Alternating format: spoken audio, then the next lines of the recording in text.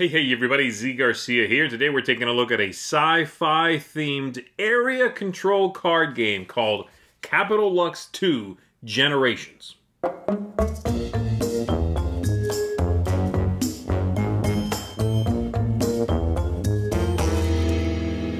As you might correctly suspect, Capital Lux 2 here is the follow up to Capital Lux. But there's more to it than that. Capital Lux 2 basically contains the entirety of Capital Lux. The rules are slightly tweaked, they've been changed around just a little bit, but one of the many ways you can play this game is with the original powers as presented in Capital Lux, the original game. But now there are alternate powers for some of the characters contained in here. Uh, this is a pretty straightforward card game in which you have a hand of cards, you're going to place some to the center of the table, some in front of you, and you're trying to score the most points. Uh, you're trying to have majorities in some of these areas without tripping a specific threshold, though. So let's go ahead and take a look at how this works. I'll see you on the other side. To set up the game, we're going to place the capital board, this board right here in the center of the table somewhere, and then we are going to assign a power to each of the four colors. Now you can do this randomly by shuffling up all four tiles and then selecting one, or you can pick the one you want among them. I just want to make it clear, though, that for each of these powers you are going to see in this game, there are three other powers that could have been assigned to that player color. So, uh, many of those are going to come with uh, extra bits and pieces as well. So, for example, in this overview, there are uh, two bags here I have with tokens that you are not going to see, and there is a stack of cards that you are not going to see. And those are all, again, from the various powers that these boards might be assigned. In this case, because of the powers assigned, we have this deck of cards right here. We have this flag. We have this board at the top. They might not be in play. Uh, the you know if you picked a different assortment of powers. So now that we are ready to go, we have two players. Each one has a home base board right here. We give someone the star player token, and we are going to flip over three cards from this shuffle deck and assign them to the uh, capital over here. To play, the game's going to go over three rounds. At the end of those three rounds, we figure out who has the highest score and they are going to win. And every round begins like this. We give each player six cards from the deck, and then the players are going to draft these cards. You are going to do so by three, four, five, six. There we go. You are going to do so by looking at your hand of cards, keeping two of them, whichever two you want, and then passing the others to uh, the left, and the players the player on your right will pass you some cards. You'll take two from those four you've been passed, keep them, and then you'll receive a final two uh, one more time. And so those cards will have been drafted, and they compose your hand now.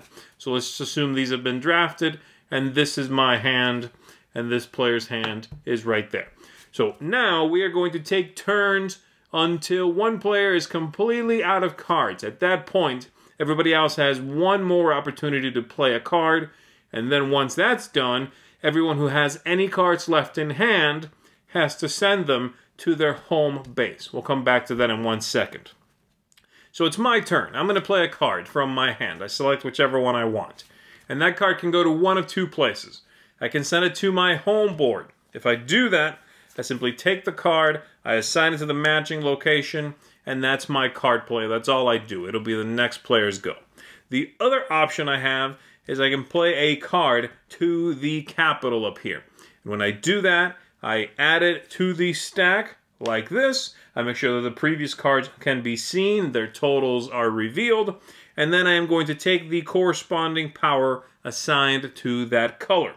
Now we're going to go through scoring. So scoring works like this. The first thing we need to do is we're going to go through the different colors and see if anybody has more power in their home base than the capital, which is a big no-no. You don't want to be hoarding more power than the capital has or they're going to strike you down. So we check the total here. The total at the uh, in the blue section in that district would be 10 in this case. And we check that each player has at most 10. That player has 6. I have 10. We're okay. We go to the next one, 6 there. That player has 6. None over here. That's okay. And we continue doing that throughout the game. When we get to green, for example, there are 4 here. I have 3. This player has 5. That's too much. So these cards are going to be discarded. You remove the entire stack of that color. Once you've checked that total, then we'll go through the colors again and see who will score.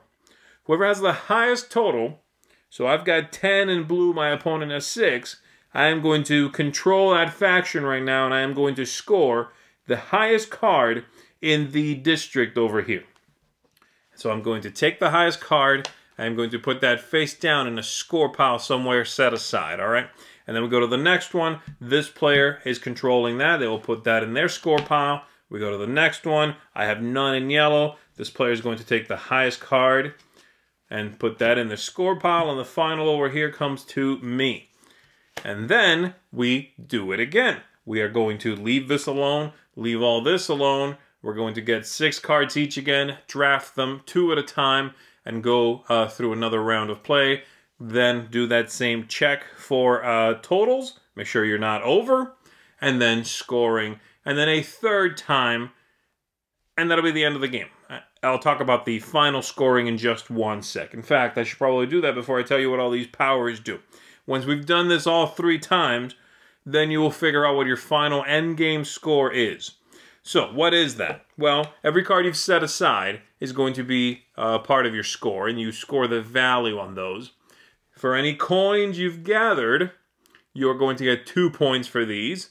And then everything that's still in your home base, you are going to score the values on those cards as well. The coins, by the way, primarily come to you from tying someone when you are checking who has the most strength at one of these locations. And if you tie, you each get a coin and then we discard the highest card instead of anyone taking it. All right? So let's go through these powers and let's figure out what's going on over here. When we play at this one, if anybody who plays there is going to draw one of these cards, add that to their hand. These cards are valued between 1 and 6. That's in your hand now. And then you may move the flag.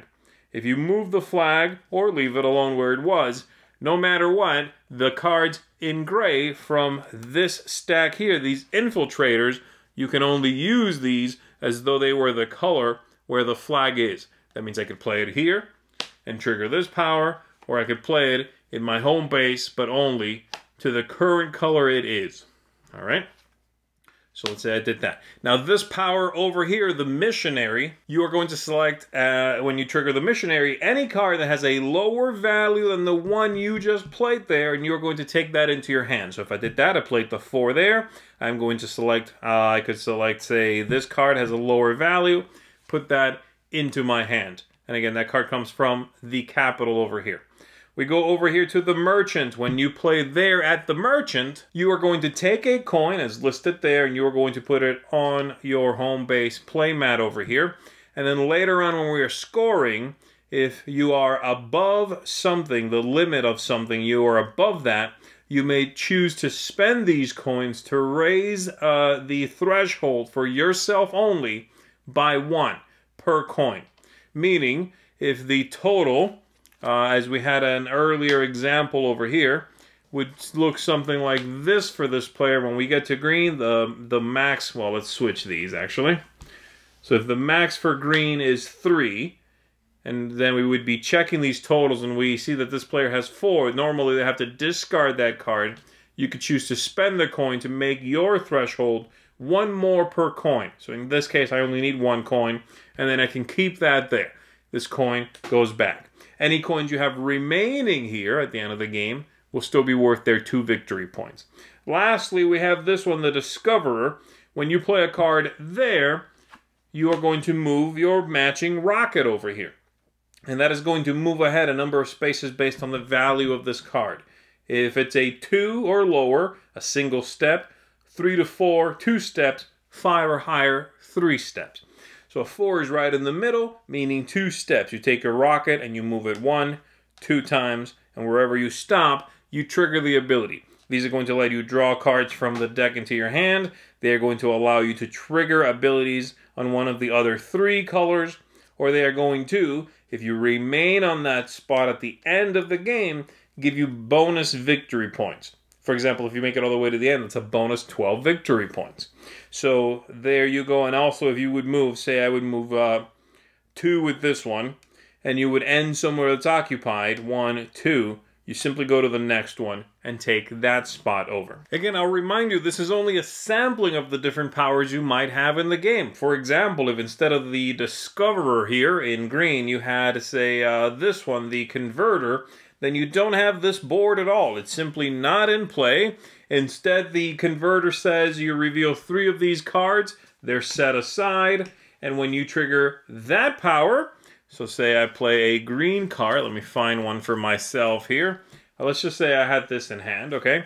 When I trigger that power, the converter says I take uh, one card from my hand, I add it to the converter stack over here, set aside, say that one, and then I take all of one, all of all cards uh, of a one color that's a different color from this one into my hand. So I'll play that. Maybe I'll take this green four. And the next player who plays there, maybe they'll play this one. Maybe they will discard that into the converter and take both blues. Like this. There we go. And so that's a completely different power with completely different uh, outcomes and interactions with everything else that's going on. But anyway, that should give you a sampling of what's going on in the game, the idea of maintaining uh, this central board, triggering powers, and then being careful what you play in front of you so that you can score them, ideally get bonuses from here, but also keep the stacks alive because they're going to score at the end of the game. You don't want to have a long uh, chain of cards here get wiped out because you went above the requirement uh, in the center of the table. So let's go ahead and go back up top. Let me tell you what I think of it. Capital Lux, the original one, is a, is a neat game. I rated that a 7 out of 10, and I, I liked it. I thought it was uh, interesting. It was sort of a tricky game a little bit, sort of from a, from a strategic point of view, and it took eh, maybe a play and a half to sort of wrap your head around Okay, I see how these manipulations and these combinations of powers make for some trickery and some some some clever card play. Now, a game and a half is really not that long. The game's fairly short, okay? But it, it grew as you play it, and then eventually you sort of figured it out, or maybe grew accustomed to it, or grew tired of it, and moved on. I certainly did.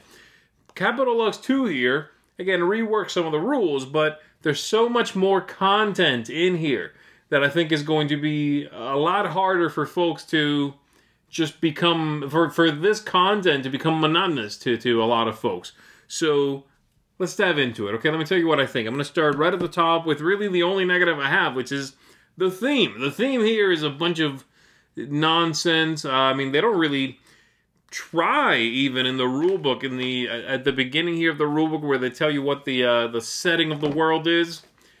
They barely mention what the setting of the world is, what you are supposed to do. You're sending people to the capital, and you, I guess, have to keep people home too. It, it, they don't they don't go into it a lot. Here's the funny thing, and the reason it's not getting a negative from me.